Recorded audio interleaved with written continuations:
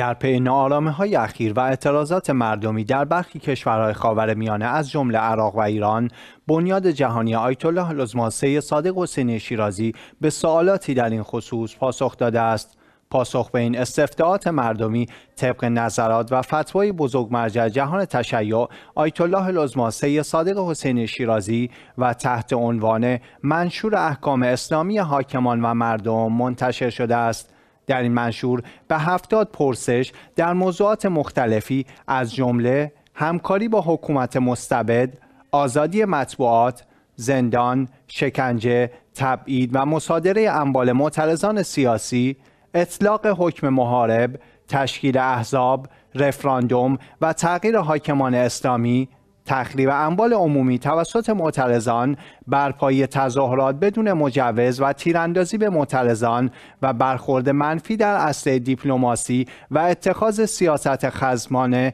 علیه سایر کشورها پاسخ داده شده است. علاقمندان برای مطالعه متن کامل منشور احکام اسلامی حاکمان و مردم می توانند به سایت و تلگرام اخبار شیعه مراجعه نمایند.